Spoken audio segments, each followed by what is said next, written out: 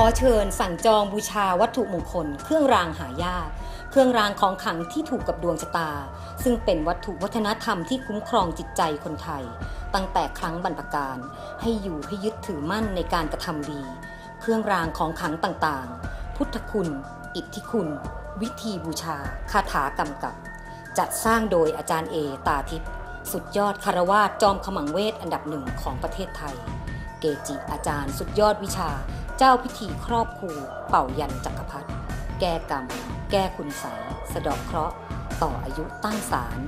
ดูห่วงจุ้ยตรวจดวงชะตา สนใจสั่งเช่าบูชาได้ที่ 087 450 0111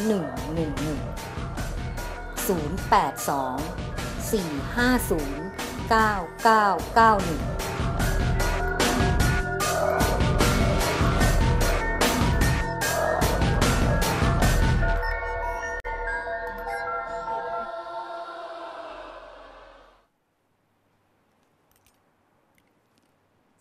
ขอต้อนรับเข้าสู่รายการอาจารย์เอตาทิพย์นะคะดิฉันอาจารย์อ้อนะคะ ค่ะ ก่อนอื่นก็ต้องขอขอบคุณพี่ๆที่อยู่ที่ต่างประเทศแล้วก็ในประเทศนะคะที่คอยติดตามชมช่อง 8 ทีวีพูดได้นะคะ แล้วก็คอยเป็นกำลังใจให้เจ้าหน้าที่แล้วก็พี่ๆทีมงานผู้บริหารช่อง 8 ทุกท่านที่คอยนำสาระดีๆ เรื่องราวดีๆ ข่าวสารหนังดังละครเด่นมาให้ท่านผู้ชมนะคะ ก็ได้กำลังใจจากพี่ๆทุกท่านนะคะ ที่ทำให้ ช่อง 8 เนี่ยผลิตรายการดีๆขึ้นมาค่ะ ค่ะ แล้ววันนี้นะคะเอาก็ต้องขอขอบคุณนะคะพี่ต่อผู้ใหญ่ใจดีช่อง 8 นะคะ แล้วก็พี่ๆทีมงานทุกท่านนะ พี่เก๋พี่ตะ พี่โปรดิวเซอร์ทุกท่านนะคะที่คอยเป็นกำลังใจให้รายการอาจารย์เอตาทิพย์อีกด้วยเหมือนกันนะคะทำให้เราผลิตรายการดีๆ แล้วก็นำเรื่องราวสาระดีๆ มาให้ท่านผู้ชมค่ะ ค่ะ วันนี้นะคะไม่ใช่ว่าอ้อจะ มาท่านเดียว แต่อ้อก็มีท่านอาจารย์เอตาทิพย์แล้วก็มีเรื่องราวต่างๆเนี่ยมาให้ท่านผู้ชมเนี่ยได้รับชมนะคะ ก่อนอื่นนะคะอ้อขอแจ้งช่องทางการรับชมก่อนนะคะท่านสามารถรับชมช่อง 8 ทีวีพูดได้ได้ผ่านทางเว็บไซต์นะคะ www.thaitv8.com นะคะหรือว่าเข้าไปที่มือถือท่านที่มีมือถือระบบ Android เข้าไปที่ Play Store นะคะค้นหาคำว่า Channel 8 หรือว่า Thai TV Thailand Television Network ค่ะ ส่วนท่านที่มีมือถือระบบ iOS เข้าไปที่ App Store ค่ะ ค้นหาคำว่า Channel 8 นะคะค่ะ ส่วนท่านที่จะร่วมพูดคุยในรายการหรือว่าเข้าไปใน Facebook แฟนเพจของ CH8 ก็ได้นะคะ หรือว่า Thailand Television Network ก็ได้ค่ะ จะมีเรื่องราวต่างๆ ให้ท่านผู้ชมเนี่ยได้รับชม หรือว่าจะเข้าไปร่วมพูดคุยในแฟนเพจก็ได้นะคะ ส่วนท่านที่จะชมรายการย้อนหลังในใน YouTube ก็เข้าไปที่ CH8 ไทยทีวีค่ะค่ะท่านผู้ชมสามารถรับชมผ่านช่องทางได้หลายช่องทางนะคะ ส่วนท่านที่มีกล่อง Roku สามารถเข้าไปที่แอป private channel นะคะ แล้วก็พิมพ์คำว่าไทย Thai TV Network ค่ะ ก็จะมีช่องรายการมากมายเลย70 80กว่าช่องนะคะ ก็จะเป็นเรื่องราวดีๆ ที่ช่อง8เนี่ยคัดสรรมาให้ทุกผู้ชมเนี่ยได้รับชมกันอย่างเต็มอิ่มเลยค่ะท่านผู้ชมที่อยู่ที่ต่างประเทศสามารถโทรเข้าสอบถามช่องทางการรับชมได้ฟรีนะคะที่เบอร์ 18003155145 นะคะอ้อขอทวนนะคะ ท่านที่อยู่ที่ต่างประเทศนะคะโทรมาที่เบอร์ 18003155145 เพื่อจะสอบถามช่องทางการรับชมนะคะ โทรฟรีนะคะส่วนท่านที่อยู่ที่ประเทศไทยโทรมาที่เบอร์ 0018008525390 ค่ะค่ะ ส่วนท่านที่จะโทรเข้ามาร่วมพูดคุยในรายการ ท่านที่อยู่ที่เมืองไทยโทรเข้ามาที่เบอร์ 029423319 นะคะ ส่วนท่านที่อยู่ที่ต่างประเทศโทรมาที่เบอร์ 1800694545 ค่ะ หรือ SMS ที่เบอร์ 4642828 ค่ะรวมโทรร่วมส่ง SMS เข้ามาในรายการได้นะคะ เดี๋ยวเราก็จะตอบคำถามท่านทุกเรื่องเลยค่ะ ค่ะ แล้ววันนี้อ้อก็มีน้ำขำไปสวัสดีท่านผู้ชมก่อนเร็วเร็วเร็วเร็วเร็วเร็วไอ้ดื้อไอ้ดื้อเร็วสวัสดีนะนู่นนู่นนู่นท่านผู้ชมอยู่ตรงนู้นนู่นนู่นนู่นหันไปเร็วเร็วเร็วเร็วน้ำขำเร็ว น้ำขาดตัวหนักอะกินแล้วก็นอนอย่างเดียวไม่ยอมสวัสดีเลยค่ะ แล้ววันนี้อ้อก็มีเรื่องราวดีๆ เช่นเคยนะคะ ช่วงนี้นะคะเป็นช่วงที่ใกล้สิ้นปีแล้วท่านผู้ชมก็เริ่มจะมีอากาศหนาวขึ้นมาแล้วใช่ไหมคะค่ะ ช่วงต้นปีช่วงช่วงปลายปีทีไรนะคะ ลมหนาวนะคะก็จะเข้ามาเยือนทุกที่นะคะ แล้วก็ดูจากสถานการณ์แล้วนะก็รู้สึกว่า จะหนาวเหมือนปีก่อนๆนะคะค่ะอย่างไรก็ตามนะคะ เมื่อเรารู้ว่าความหนาวเข้ามาเนี่ยเราต้องมีวิธีการที่จะรับมือกับฤดูหนาวเพื่อทำให้ร่างกายของเรานะคะ สามารถที่จะต่อสู้กับลมหนาวและมีสุขภาพที่ดี ห่างไกลจากโรคภัยไข้เจ็บได้ตลอดนะคะ ค่ะเรามีอ้อมีวิธี 8 7 วิธีนะคะ มีข้ออวิธีปฏิบัติเกี่ยวกับ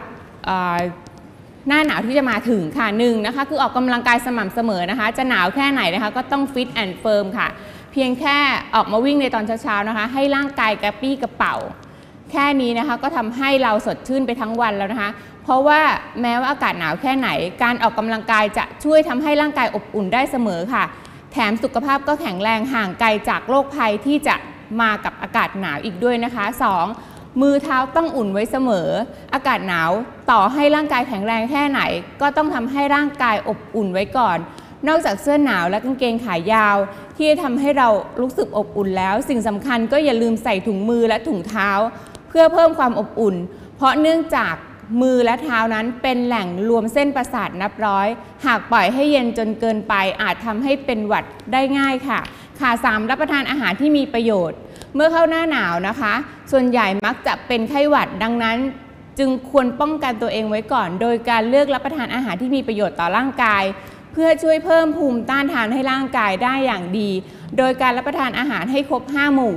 และเน้นอาหารที่มีธาตุเหล็ก อย่างเช่น เนื้อสัตว์ธัญพืชเต้าหู้และไข่ ซึ่งธาตุเหล็กจะช่วยป้องกันหวัด และเพิ่มภูมิต้านทานให้กับร่างกายได้เป็นอย่างดีค่ะ 4. นะคะรับประทานวิตามินนะคะ คนไหนที่มีร่างกายอ่อนแออยู่แล้วนะคะ หากเจออากาศหนาวจัดๆก็อาจจะทำให้มีความรู้สึกว่าอากาศเนี่ยร่างกายของเราเนี่ยมีการเปลี่ยนแปลงไปได้นะคะ ดังนั้นนะคะควรป้องกันเอาไว้นะคะด้วยการรับประทานอาหารที่มีประโยชน์ให้ครบควบคู่กับวิตามินเพื่อผู้ภูมิคุ้มกันให้สร้างร่างกายของเรานะคะ ให้อย่างให้มีความแข็งแรงขึ้นนะคะ เช่นวิตามิน E วิตามิน A วิตามิน C ค่ะ ซึ่งวิตามินเหล่านี้นะคะจำเป็นมากที่จะทำให้เราเนี่ยร่างกายของเราเนี่ยห่างไกลจากไข้หวัดได้นะคะค่ะห้านะคะอาบน้ำอุ่น อย่าอาบน้ำอุ่นจัดนะคะ เพราะน้ำอุ่นจัดเนี่ยจะทำให้ความชุ่มชื้นของผิวเนี่ยหายไป นอกจากนี้นะคะ ควรหลีกเลี่ยงผลิตภัณฑ์ที่ทำความสะอาดที่มีฟองมากๆนะคะ เพราะจะทำให้ความชุ่มชื้นของผิวนั้นหายไปค่ะ เราไม่ควรถูผิวแรงๆนะคะจะทำให้ผิวนั้นลอกออกมานะคะ จะทำให้ผิวแห้ง และฤดูหนาวเนี่ยจะทำให้ผิวเราเนี่ย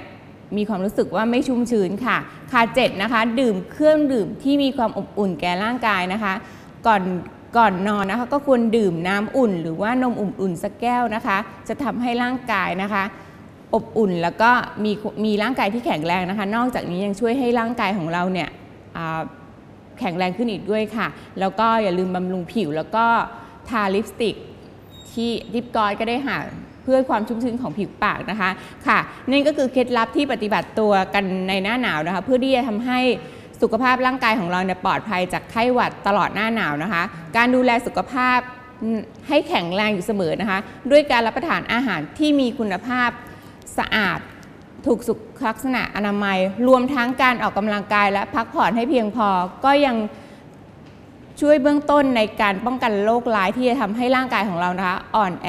ร่างกายของเรานะคะมันเป็นร่างกายของเราเองนะคะ ถ้าเราไม่ดูแลแล้วใครจะดูแลนะคะ ค่ะนี่ก็เป็นเรื่องราวดีๆนะคะ ก็เป็นห่วงนะคะ อยากให้ทุกท่านเนี่ยคอยดูแล้วก็คอยเป็นห่วงตัวเราเองนะคะ ไม่ว่าจะไม่ว่าแค่เฉพาะตัวเราเองนะคะ ก็คนรอบข้างเนี่ยก็อยากให้ท่านเนี่ยเข้าไปสนใจดูแลนะคะเพื่อที่โรคต่างๆ หรือว่าความเจ็บป่วยเนี่ย จะได้ไม่มาเยือนแก่ท่านผู้ชม แล้วก็ครอบครัวของท่านนะคะ ก็เป็นเรื่องราวดีๆที่อ้อนำมาฝากนะคะ ก็อยากให้ท่านผู้ชมเนี่ยนำไปปฏิบัติแล้วก็อ้อก็จะไปปฏิบัติด้วยค่ะ เพราะว่ามันเป็นบางทีมันอาจจะเป็นเรื่องราวเล็กๆน้อยๆแต่ว่ามันอาจจะทำให้เราเนี่ยอาอาจจะมีการเจ็บป่วยได้ค่ะ ค่ะ และนี่ก็เป็นเรื่องราวดีๆนะคะ ก่อนพักเบรกกันช่วงนี้นะคะ อ้อก็ยังมี คำสอนของหลวงพ่อฤาษีเช่นเคยนะคะ ท่านบอกไว้ว่านะคะ บาปนะคะถึงแม้ว่ามันจะกั่นแกล้งเราขนาดไหนก็ตามนะคะ แต่ถ้าเรามีกำลังบุญสูงนะคะ ก็คือว่าคล้ายๆว่าสุนัขวิ่งไล่กัดกันสุนัขวิ่งไล่กัดเราอะค่ะ ถ้าเราวิ่งไวมันก็วิ่งไม่ทันมันก็วิ่งไม่ไม่ทันเราค่ะ มันก็จะทำให้กัดเราไม่ได้ค่ะ ค่ะและนี่ก็เป็นเรื่องราวดีๆ และคำสอนของหลวงพ่อนะคะ ท่านบอกว่าให้เราเนี่ยทำบุญเยอะๆ เพื่อที่ กรรมเนี่ยจะได้วิ่งตามเราไม่ทันค่ะค่ะ เดี๋ยวขอเบรกแป๊บนึงนะคะพบกันใหม่เบรกหน้าค่ะสัมพุทธะสหะตานิโตโชชายกา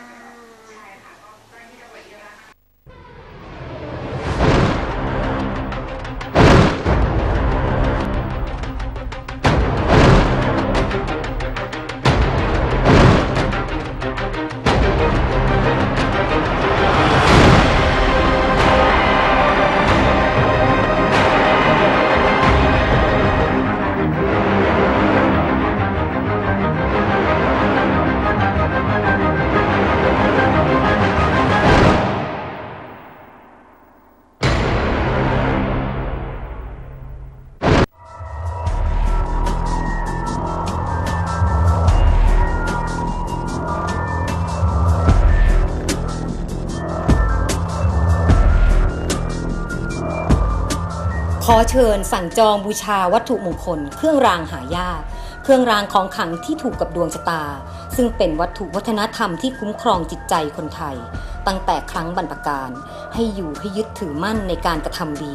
เครื่องรางของขลังต่างๆ พุทธคุณ อิทธิคุณ วิธีบูชาคาถากำกับ จัดสร้างโดยอาจารย์เอตาทิพย์สุดยอดคารวาสจอมขมังเวทอันดับหนึ่งของประเทศไทย เกจิอาจารย์สุดยอดวิชา เจ้าพิธีครอบครูเป่ายันจักรพรรดิแก้กรรม แก้คุณไสยสะดอกเคราะห์ ต่ออายุตั้งศาลดูห่วงจุ้ยตรวจดวงชะตา สนใจสั่งเช่าบูชาได้ที่ 087 450 0111 082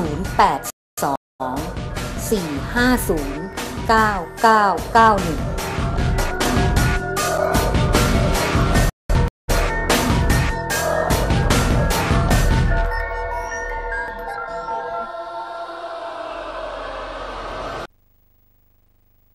รายการอาจารย์เอตาทิพย์นะคะท่านผู้ชมสามารถ s อ s เข้ามาได้ได้ที่เบอร์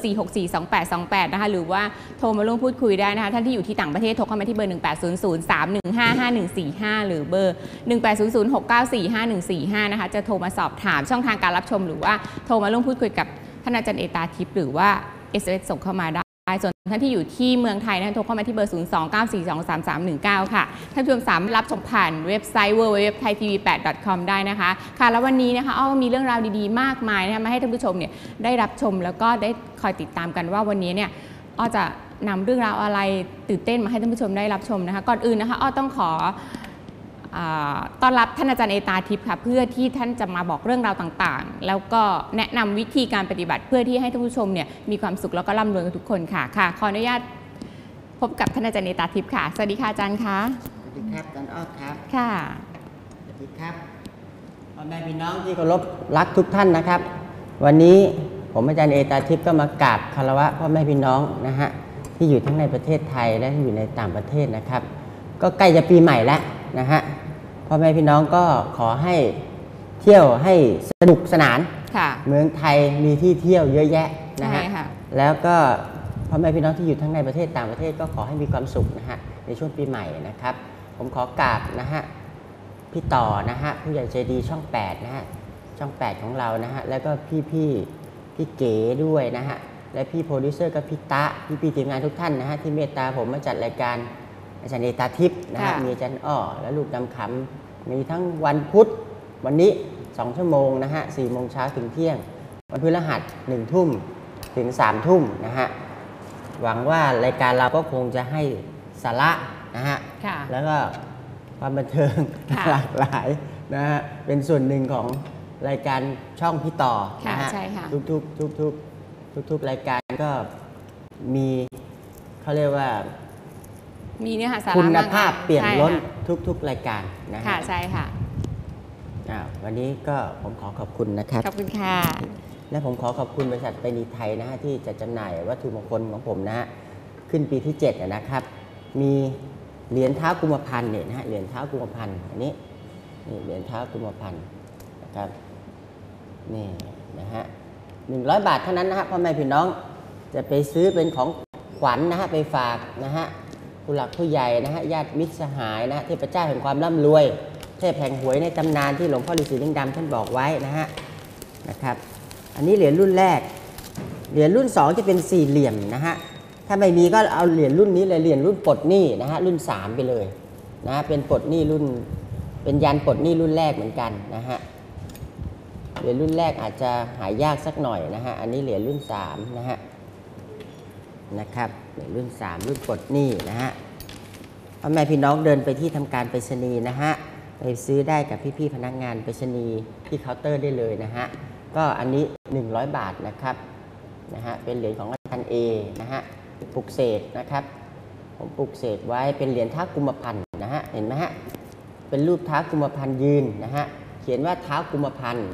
มีห่วงในตัวสีทองนะฮะด้านหลังเขียนว่าปลดหนี้รุ่นนี้ นะฮะเขียนปลดหนี้เป็นยันปลดหนี้ที่ผมได้นิมิตจากสมเด็จองค์ปฐมข้างล่างเขียนมหาเศรษฐีอันนี้ 100 บาทเช่นกันนะฮะอันนี้เขาเรียกว่าเป็นเหรียญรุ่น 3 ก็จริงแต่ว่าเป็นยันปลดหนี้รุ่นแรกนะฮะรุ่นรุ่นหนึ่งรุ่นสองอาจจะหายากหรือหรือหมดไปแล้วนะฮะต้องลองลองลองไปดูที่ทำการไปรษณีย์ทุกสาขาทั่วประเทศนะครับ ถ้าไม่มีก็เหรียญรุ่นนี้เลยเหรียญรุ่นปลดหนี้นะครับเหรียญรุ่นปลดหนี้นี่ก็ หมดไปเป็นรอบแล้ว อันนี้นะฮะก็กำลังจะทยอยส่งนะฮะเพราะผมปลุกเสกเดี่ยวทุกชนิดเลยอารัธนาสมเด็จองค์ปฐมพระพุทธเจ้าองค์แรก และคณะเบื้องบนทุกพระองค์เลยปลุกเสกนะครับ มีเขาเรียกว่าประสบการณ์นะฮะจากพ่อแม่พี่น้องทั่วประเทศนะฮะมาเป็นเวลา 6 ปีเต็มแล้วนะฮะขึ้นปีที่ 7 แล้วนะครับ แล้วก็พ่อแม่พี่น้องบูชาบูชาทุกวันทุกวันทุกวันที่ทำการไปรษณีย์นะฮะ6ปีเต็มแล้ว นี่นี่ขึ้นปีที่ 7 แล้วนะครับอะพุทธคุณนะฮะที่ท้ากุมพันธ์เนี่ยที่พ่อแม่พี่น้องมาเล่าให้ฟังก็ทางส่วนใหญ่เขาไปเล่นซื้อลอตเตอรี่นะฮะแล้วก็ในทางการเงินการงาน ความรักสุขภาพครอบจักรวาลทั้งหมดนั่นแหละนะฮะอันนี้ก็จะเป็นลูกแก้วนะฮะอันนี้ 100 บาทเช่นกัน ลูกแก้วมหาเศรษฐีนะฮะอันนี้ก็จดเครื่องหมายการค้าไว้แล้วนะฮะลูกแก้วมหาเศรษฐี 100 บาทเช่นกันนะฮะ100 บาทเช่นกันนะครับสำหรับลูกแก้วมหาเศรษฐีเนี่ยเป็นลูกแก้วที่สมเด็จองค์ปฐมบอกว่าเป็นลูกแก้วประจำตัวของท่านนะฮะท่านก็มาปลูกเสกให้เต็มกำลังแก้ห่วงจุ้ยก็ได้ เอาไปฝังดินไว้ในบ้านก็ได้ตรงตรงที่มีดิน หรือว่าใส่ถ้วยบูชาไว้ก็ได้พ่อแม่พี่น้องที่ติดขัดนะฮะ เกี่ยวกับเจ้าที่เจ้าทางในบ้านนะฮะก็ค่อยๆ เอาลูกแก้วไปบูชาไว้ใส่พานไว้เรื่อยๆ เดี๋ยวจะดูดเงินเข้ามาเรื่อยๆนะฮะเป็นนิมิตนะฮะเขาจะเรียกเงินเรียกทองเข้ามาเรื่อยๆเรื่อยๆเรื่อยๆนะฮะลองดูนะฮะได้ผลยังไงก็มาเล่าให้ฟังอันนี้เป็นความเชื่อนะฮะอ้าวตะเพียนดูดซับนะฮะอันนี้ก็เป็นรุ่นแรกนะฮะมีห่วงในตัวนะครับ เป็นตะเพียนจิ๋วหลิวเลยนะฮะเนี่ยลองไปดูอันนี้นะฮะนี่เห็นไหมฮะสวยไหมครับนี่นี่นี่เห็นไหมมีห่วงในตัวนะฮะเป็นรูปปลาตะเพียนเลย ด้านหน้าเป็นลายลายไทยเลยนะฮะเลขศูนย์ถึงเลขเก้านะฮะด้านหลังนี่ด้านหลัง ด้านหน้าเป็นลายไทยเลขศูนย์ถึงเลขเก้าด้านหลังเป็นเห็นไหมมียันเนี่ยฮะยันเมตตามหานิยมนะฮะ แต่เพียนดูดซับมีห่วงในตัวนะฮะ แล้วก็ คนออกแบบก็คือพี่ธนาตีรณฤทธิ์นะฮะ ผู้ออกแบบวัดเล่งเนยี่สองนะฮะ ก็เป็นรุ่นพี่ที่ผมเคารพท่านหนึ่งนะฮะ ท่านก็มาออกแบบปฏิเพียนดูดซับให้ ผมก็ปลูกเสกเดี่ยวทุกชนิดเลยนะฮะ อันนี้ก็จดลิขสิทธิ์ไว้แล้วนะครับ ด้านหน้าเป็นเลขศูนย์เลขถึงเลขเก้านะฮะ ออกแบบโดยพี่ธนาตีรณฤทธิ์นะฮะอาจารย์คะอาจารย์เป็นห่วง พี่ๆทุกท่านเลยใช่ไหมคะตั้งเลยต้องมีห่วงในตัวใช่ไหมคะ ใช่ต้องมีห่วงในตัว และอันนี้จะหมดห่วงไปเลยนะฮะอัเพนนี้ราะไม่ว่าคือมีห่วงพยันเท้ากุมพันธ์ไว้ป้องกันพยันอันตรายเทพเจ้าแห่งความร่ำรวย เรียกเงินเรียกทองนะฮะ เป็นนิมิตนะฮะเท้ากุมพันธ์เนี่ยสังเกตนะฮะ มือซ้ายจะถือคาถา มือขวาถือกระบองนะฮะ มือซ้ายถือคาถาก็ความร่ำรวยนะฮะ ความสำเร็จนะฮะ มือขวาถือกระบองก็ป้องกันพยันอันตราย เทพเจ้าแห่งความร่ำรวยนะฮะ นะฮะ อันนี้ก็ 100 บาทเช่นกันนะฮะ มีพ่อแม่พี่น้องสามารถไปบูชาได้ที่ทำการไปรษณีย์ทุกสาขาทั่วประเทศนะนะฮะครับผมก็ขอขอบคุณนะครับ บริษัทไปรษณีย์ไทยนะฮะไว้ณที่นี้ด้วยนะครับ และพี่ๆพนักงาน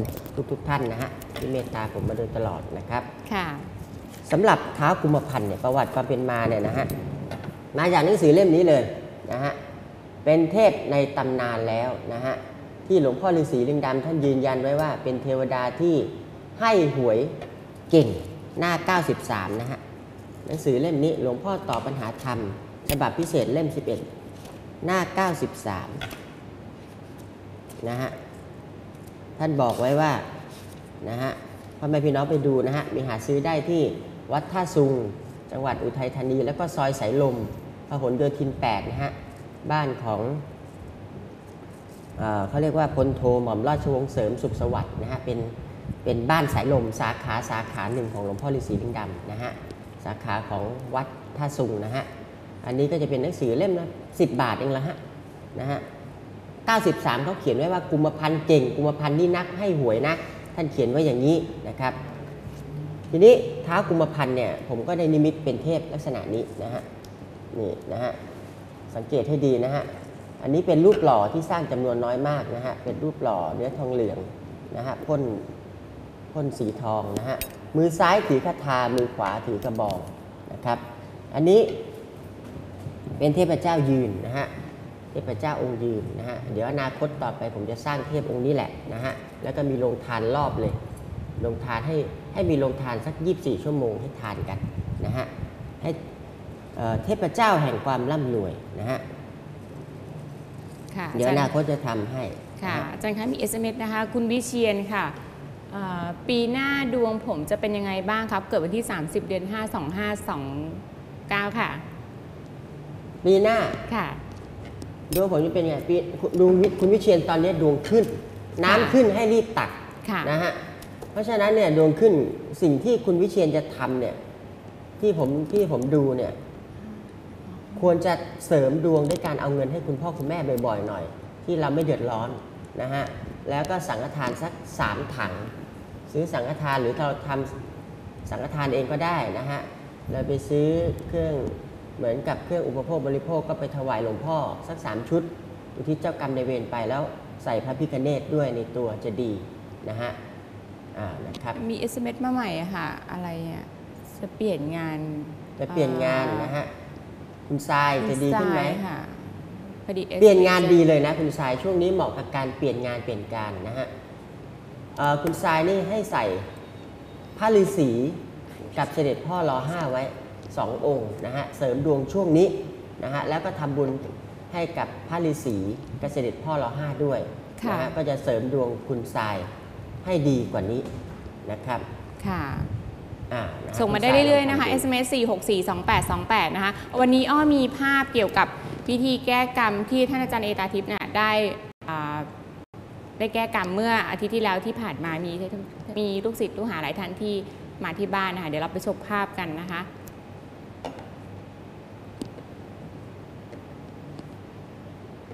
อันนี้ค่ะอันนี้เป็นตัวแทนประเทศไทยนะคะ5คนที่ไปแข่งเกมนะคะพอยแบงค์นะคะที่ได้อันดับหนึ่งของโลกเลยค่ะ เป็นแชมป์โลกเลยะค่ะอ่ามีอยู่ 5 คนไปแข่งที่อินโดนีเซียนะคะได้ที่ 1 ประเทศไทยนะได้ที่1ค่ะ เป็นแชมป์โลกไปแล้ว ใช่ค่ะ ได้ที่นะฮะ1ของของของโลกเลยค่ะเป็นแชได้มป์รางวัลโลกมาหลายล้านนี่ใช่ไหมเป็นล้าได้นมาปะล้านกหลัว่ากบาทล้านใช่เลยค่ะ ได้มาล้านกว่าบาทเนี่ยกันนี้ก็เพิ่งไปแข่งมาเมื่อเดือนตุลาค่ะ ก็ได้กลับก็มาต้องขอแสดงความยินดีด้วยค่ะเป็นตัวก็แทแสนดงขคอวามงยินประเทดีศไทกับยนะฮะน้องๆด้วยนะคะน้องๆก็ทุกท่านพอหลังเสร็จเสร็จก็ได้ยกขยงกันมาที่บ้านนะคะมาแล้วมีโอกาสมาแวะ ค่ะพูดคุยกันค่ะนะแวะฮะมาเยี่ยมเยียนก็ให้ท่านอาจารย์เอลงยันผมก็เจิมให้น้องๆทุกท่านให้เป็นสิริมงคล แล้วก็ค่ะมอบพระฤาษีให้คนละอันค่ะมอบให้ฟรีเลยเป็นสิริมงคลนะค่ะฮะนี่ยังเด็กๆอยู่เลยนะคะยังบางทีก็ไม่ถึงอ20นาอะคตค่ะของชาติ ใช่ค่ะนฮบางทีอคตการเล่นของชติเกมเนี่ยก็ไม่ใช่ว่าถ้าเล่นดีก็จะจะทำให้เราโอเคค่ะเนี่ยดีกว่าไปไปมั่วสุมยาเสพติดใช่นะฮะค่ะเพราะอ่าน้องๆเยาวชนทุกท่านก็เปลี่ยนมาเล่นเกมนะฮะค่ะนะ ฮะมาเล่นเกมสมัยก่อนเนี่ย ผมเป็นเกก็มแสวงยิงหาเกมมาก ค่ะเขาเรียกเกมกด ใช่ค่ะเกมกดเนี่ยต้องไปซื้อของถม ซึ่งหายากมากมันเป็นเกมสยยิงอะกันนะคะ ต้องสะสมไปซื้อนะค่ะ ฮะยุคโบราณมากเลยนะฮะ อืม เดี๋ยวนี้พัฒนาแล้วนะฮะ ก็นี่ได้อืมพอหลังจากกลับมาก็เพิ่งได้มีโอกาสแวะเข้ามา เพราะว่าพอหลังจากกลับมานี่ก็มีสื่อ เอาไปออกรายการเอาไปออกอะไรกันเยอะมากเลยค่ะ ก็เลยเพิ่งได้มีโอกาสแวะเข้ามาค่ะ ครับก็ขอแสดงความยินดีกับน้องค่ะๆทุกท่านนะฮะก็ผมเป็น สักยันต์ให้ทุกๆท่านเป็นสิริมงคลไปค่ะ นะครับอันนี้อาจารย์เอกก็ทำพิทำพิคุธีณทรายถ้าเปลี่ยนงานหลังปีใหม่จะดีขึ้นไหมดีขึ้นนะอันนี้ตอบแล้วอะค่ะอาจารย์อ่าอันนี้ตอบแล้วเหรออ่าเอียงคอดูกันหน่อยนะคะ อันนี้หมอจินกับหมอต่อค่ะมาอันให้ นี้อาจารย์จินอาจารย์ค่ะอาจารย์อาจารย์หมอต่ออาค่ะ จารย์อ่า ท่านเป็นพันเอกแล้วก็อาจารย์จินท่านก็เป็นในพันเหมือนกัน เป็นแฟนกันนะฮะก็มาแล้วให้ก็อาจารย์ท่าเอนอยู่โรงพทยาบาลค่ายสุรนารีท่านเป็นอาจารย์หมอสอนสอนสอนหมอกระดูกำค่ะนะฮใช่ค่ะ แล้วก็ท่านเป็นผู้หลักผู้ใหญ่ที่ผมเคารพทั้งสองท่านเลยค่ะ ท่านก็ขับรถมาจากโคราชนะฮะมามาร่วมเข้าพิธีเป่ายันมหาเศรษฐีด้วยนะฮะค่ะแล้วก็ก็เลยบาทาผมก็บำบัดไปเลย ใช้วิชาบาทาบำบัดขออนุญาตทั้งอาจารย์หมอต่อหมอจินนะฮะค่ะตามสูตรนะฮะเรียกเงินเรียกทองแล้วก็จัดสัดส่วนให้ค่ะนะฮะเดี๋ยวนี้อาจารย์หมอต่ออาจารย์อาจารย์จินก็ทั้งหล่อทั้งสวยไปแล้ว ใช่ค่ะนะฮะกระชับแต่ส่วนกระชับมากขึ้นนะคะครับอ่าหมอจินเราก็เราไม่ได้เหยียบแรงพออีกวันหนึ่นะงเราน้ำหนัเรากใช้ลดเราเหมือนกับว่าเป็นพุทธคุณค่ะแล้วเราตรงแขนเนี่ยไม่ไม่ได้เจ็บอะไรนะฮะ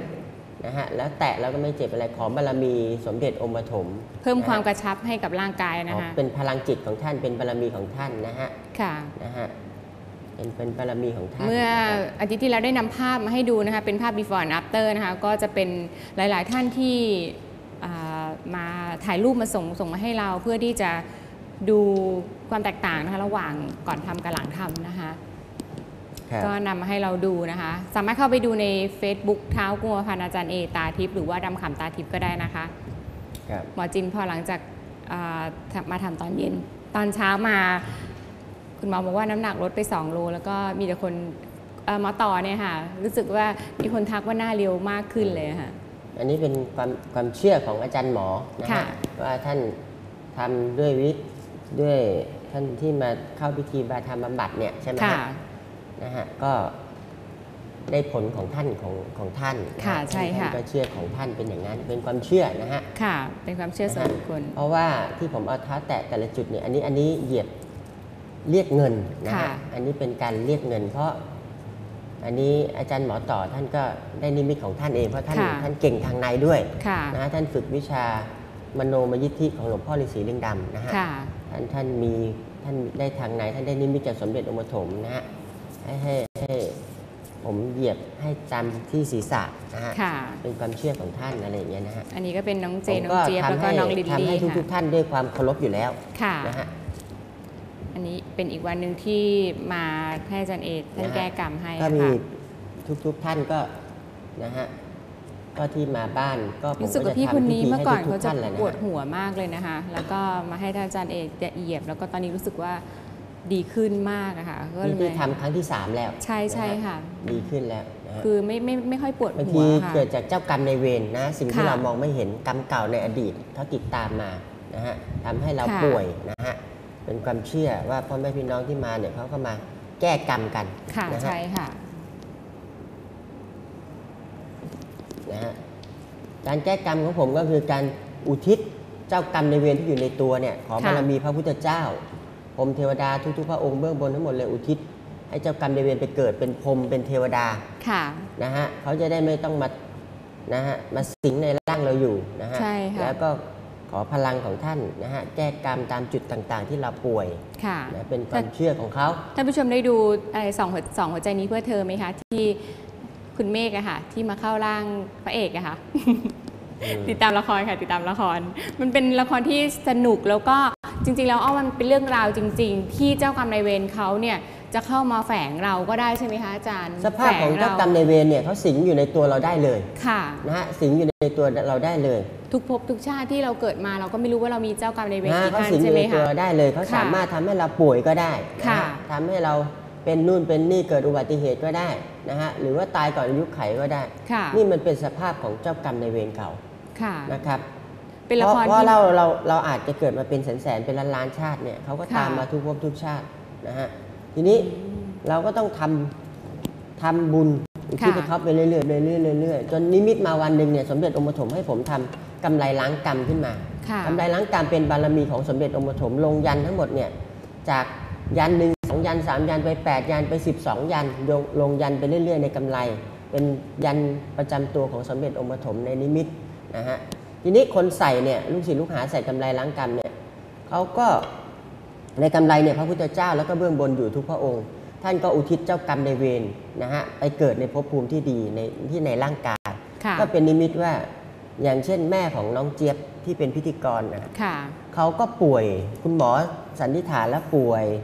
หลายโรคข้างระบบค่ะภายในเสียหายพอใส่กำไรแล้วอยู่ๆดีๆ ฟื้นกลับเป็นปกติเลย หมอค่ะเขาก็หงมองยังงงเลยใช่หมอก็ค่ะงง เพราะว่าอันนี้เป็นบารมีของสมเด็จองค์ปฐมท่าน ในกำไรล้างกรรมนะฮะกำไรล้างกรรมเนี่ยก็มีที่ผมอย่างที่เดียวค่ะเขาเรียกกำไรมหาเศรษฐีรุ่นล้างกรรมนะฮะการล้างกรรมก็คือการอุทิศเจ้ากรรมในายเวรนะฮะไปเกิดในภพภูมิที่ดีแล้วกันเจ้ากรรมในายเวรใหม่ไม่ให้เข้ามา ก็มีผลทำให้สุขภาพแข็งแรง นะฮะค่ะ เราไม่ต้องไปรับกรรมรับเวรจากใครอีกแล้ว ค่ะเป็นอันจบสิ้นกันไปนะฮะค่ะ อันนี้เป็นความเชื่อของคนคนที่เขาใส่เนี่ยคือล้วนแล้วแต่ป่วยมาก่อนเลย ค่ะหรืใช่บางคนค่ะ ไม่ป่วยก็อยากจะให้เรียกเงินเรียกทองโชคลาภเขาก็ใส่กำไรกัน ค่ะอันี้ต้องไปถามลูกศิษย์ลูกหาหรือว่าผู้ที่เขามีประสบการณ์ในกำไรล้างกรรมนะฮะ ค่ะ อาจารย์คะมี SMS ก่อนหน้านี้นะคะคุณกุ้งค่ะเกิด 16 เมษายน2529นะคะจะถามเรื่องความรักแล้วก็เนื้อคู่นะคะจะมาตอนช่วงไหนอะคะ ความรักมันมาเรื่อยๆ แต่ดวงคุณกุ้งเนี่ยช่วงนี้ต้องเสริมเรื่องความรักอย่างมากเลยค่ะนะฮะเพราะว่าความรักยังอ่อนไปค่ะอ่อนไปก็คือควรจะเอาเลขหเสริมมาคะอาจารย์ อ่อนไปก็คือต้องไฟลนไงอ้าวไม่ใช่เหรอเออก็คือให้คุณกุ้งค่ะคุณกุ้งนี่เป็นคนหรือเป็นกุ้ง เป็นคนค่ะอาจารย์ เป็นคนใช่ไหมคือชื่อคุณกุ้งค่ะ เออเออเป็นเป็นเป็นคนนะฮะค่ะขอโทษทีนะฮะ ค่ะเออแซวคุณกุ้งเล่นค่ะๆนะฮะคุณกุ้งก็ไปเอาแผ่นทองนะฮะแผ่นทองแท้ค่ะนะฮะทองแท้ไม่ใช่ทองเนื้อก้าวไม่ใช่เรื่องละคร ทองแท้ก็ทองเปลวเนี่ยแหละฮะติดค่ะพระพุทธรูปซื้อตามร้านสังฆพันธ์ทองเต็มแผ่นเลย อันละไม่กี่บาทนะฮะอ่ารู้สึกว่าน่าจะเป็นไม่8บาทถึง 10 บาทค่ะอ๋อประมาณแล้วแต่นี้นะแล้วแต่แต่ละแล้วแต่ร้านก็จะไม่เหมือนกันแต่ละร้านไม่เหมืนะอนกัคะนใช่ค่ะ ก็ซื้อสักสิบแผ่นไปปิดพระพุทธรูปค่ะที่เป็นพระประธานในโบสถ์ วัดไหนก็ได้ ปิดที่ไหนคะอาจารอย่าย์ไปปิดช่วงหัวนี่ไม่ได้ ช่วงหัวช่วงช่วงหน้านี่ไม่ได้ ปิดลำตัวได้หมดถึงขาได้หมดเลยค่ะนะฮะไปขอพรเรื่องความรักนะฮะค่ะแล้วก็สังฆสังฆทานสักถังหนึ่งค่ะนะฮะนะฮะอุทิศเจ้ากรรมในายเวรไป แล้วในคอก็แขวนเสด็จพ่อรอห้าหรือพ่อแก่ก็ได้พระฤาษีก็ได้นะฮะก็ใช้ค่ะได้แล้ว แค่นี้ก็ก็ดีแล้วนะฮะค่ะอ่า มี SMS ต่อไปนะ คุณหมายค่ะ น่าจะชื่อคุณหมายนะคะ คุณหมานนะเอ้ยคุณหมายเหรอคะ ดวงการงานการเงินช่วงสิ้นค่ะ ปีนี้จะดีขึ้นไหมครับ ต้องเสริมอะไร ค่ะ คุณหมานดีอยู่แล้วเนี่ยคุณหมานหรือคุณหมายเนี่ยหรือค่ะ คุณหมวยเนี่ยดีอยู่แล้วเนี่ยนะชื่อฮะ อะไรเกิน นะฮะดีอยู่แล้วฝึกสมาธิไปนะฮะค่ะเราก็นึกว่าเราเพ่งพระพุทธรูปก็ได้ หาพระพุทธรูปสักองค์หนึ่งมากอดก็ได้นะฮะมากอดไว้ในอกก็ได้นะฮะค่ะ องค์สักห้านิ้วก็ได้นะฮะพระพุทธรูปแล้วภาวนาไป จะภาวนาพุทโธพุทโธ หรือภาวนาคาถาอะไรก็ได้ นึกเพ่งแต่พระพุทธรูปเป็นหลักนะฮะก็จะทำให้เรามีพลังเรียกค่ะพลังจิตเยอะขึ้นเยอะขึ้นเยอะขึ้นค่ะนะฮะแล้วก็ดวงเราก็จะดีขึ้นไปเรื่อยๆเรื่อยๆแล้วก็ปล่อยปล่อยปลาสักเก้าตัวก็ดีค่ะปล่อยปลาช่อนน่ะนะฮะปลาช่อนปลาตัวใหญ่จะดีค่ะซื้อในตลาดมาปล่อยนะฮะให้ให้เขาอยู่รอดปลอดภัยนะครับ ก็จะดีขึ้นแล้วนะฮะอืม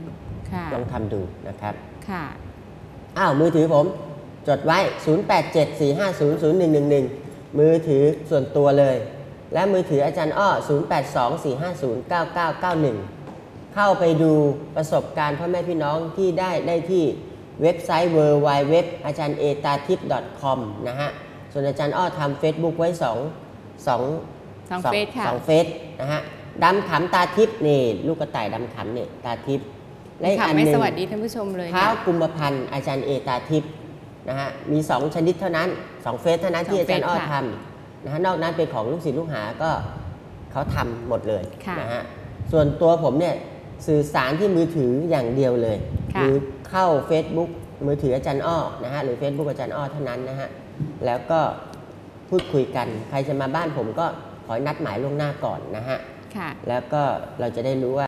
อยู่หรือเปล่าค่ะนะฮะ แล้วก็จะผมจะได้บริการพ่อแม่พี่น้องเต็มที่นะครับค่ะอ้าว SMS ก็ส่งมาได้เรื่อยๆนะฮะ 464 2828 นะครับ 464 2828ค่ะ นะครับ เดี๋ยวก่อนพักเบรกเดี๋ยวรบกวนพี่ๆทีมงานช่วย